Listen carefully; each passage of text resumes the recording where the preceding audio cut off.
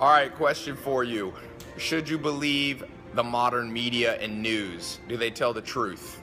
So we're here, uh, me and Zach, at this movie we just saw. It's actually called Truth with Robert Redford. What'd you give it? One out of ten. I gave it a two. That's very generous of you. Oh, hold it wasn't a very good movie, but it kind of pissed me off to watch it. Here's why it pissed me off. Uh, I know because I deal with the press. My real question is who's the investigative journalists that investigate the investigative journalists?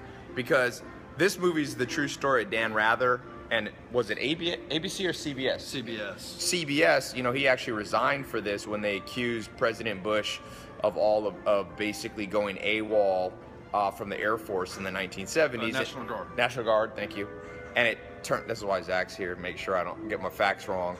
Um, but it turned That's out. the only reason I'm here. It's the only reason. It, it turned out that the documents were forged, but they had gone through this whole big deal uh, trying to prove, you know, uh, create a scandal. And the one interesting point of the book that's relevant is the news used to not be for profit. It used to not used to not be allowed to make a profit on the news. So ABC, CBS, all the networks had to have news at a loss leader. And I think I wish it went back that way because if you did that, we all know what Charlie Munger, the billionaire, says humans respond to incentives. That's also there's a great econo- economics books by a guy named uh, book by a guy named Mankiw. He's a professor, wrote for Harvard. I think Harvard uses his economic textbooks, and he says you can sum up everything about money, economics in one phrase: humans seek incentives. So the second you make the news um, incentive based in terms of profit,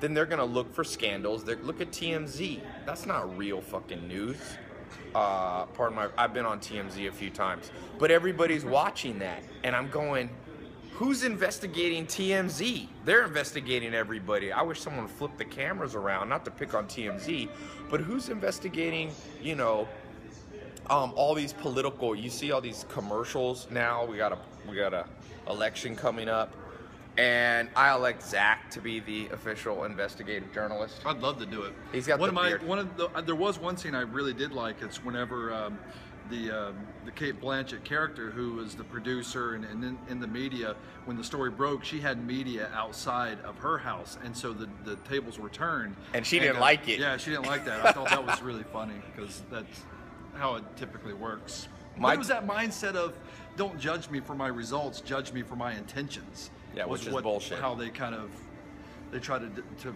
to uh, present it.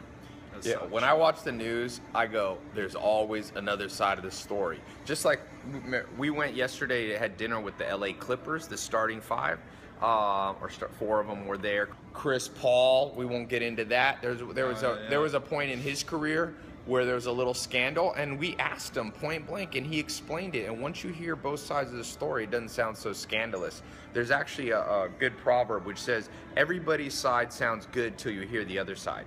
And so now with the media, the news, all these bloggers, they bring up all this bullshit and no one investigates them back. So never believe something until you never believe an investigative report unless you see somebody who first gutted and investigated that investigative report. I'm telling you, it would change the whole game. There's Wasn't so much think what? Wasn't it Benjamin Franklin? And correct me if I'm wrong. That said, believe nothing of what you read and only half of what you hear. Yeah, at most, at most. So, at the end of the day, some of the stuff you have to use logic. Like in this movie, the story is did George Bush not try to go Vietnam to Vietnam? And there's one scene in the movie where they're like, nobody wanted their kids to go to Vietnam. So, is there a scandal there? I don't know. But at the end of the day, how I look at it is there's scandals everywhere. If you stuck a camera up on your life and every moment of your life was recorded, and then it was played back for 7.3 billion people. Would you be ashamed of everybody uh, of, of anything? Hell yeah. Everybody, like Mark Twain says, everybody has a dark side. So we live in this world where everybody wants to find the dark side. That's why I say now, people are like, dude, Tai, do you have any dark side shit? I'm like, you know what? I'm gonna purposely do dark sided stuff so there's no damn scandal. Who was. Dark Gotta be sided. What's the guy? Uh, oh, uh, what's the favorite? Jack Nicholson. You know why Jack Nicholson ha- never had a story? Because he was just like, I do blow, sleep with hookers. you couldn't have his story because he exposed himself first. So, uh, I think we should go a lot lighter on exposés and a lot more focus. For example, if you really want to focus something important, why don't they do investigative journalism, for example, on big problems like they always talk about military spending is too high. Well, how about people being fat? That's a huge damn problem. That should be on the cover everywhere. So these investigative, objective journalists, my ass, they're like TMZ reporting on Kanye West and you know uh, what Lamar Odom. That's not news you know? And even abc i read the newspaper half that shit is not important in there 90% of it. Every once in a while it's important but most of it's not important. Nobody wants to talk about the real big issues. Soil erosion that's a big issue that nobody talks about. When's the last time you saw a report talking about soil erosion? No because also reporters are constrained by how much knowledge they have and a lot of them don't know that much stuff. They're relying on other people's interpretation which is uh, like playing telephone you go telephone five times around, nobody's telling the truth. So, and I don't think as a reporter you should be trying to change the world. I think you should report the news. Yes, you know, should change the world. Not, um, I think it was Goethe, one of those great philosophers, who said, "Let every man sleep, sweep his own front porch, and the whole world will be clean." That's a much better way. Everybody be their own little reporter. You know, focus on yourself. Clean your own life out then write your scandal shit. The president has scandals, every one of them. Bill Clinton has scandal.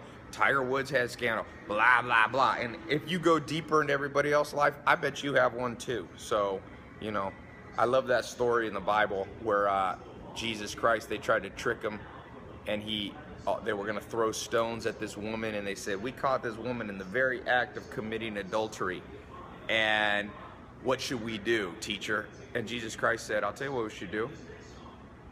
Whoever here doesn't have sin, throw the first stone. And nobody threw the stone. And that's how I think reporting should be.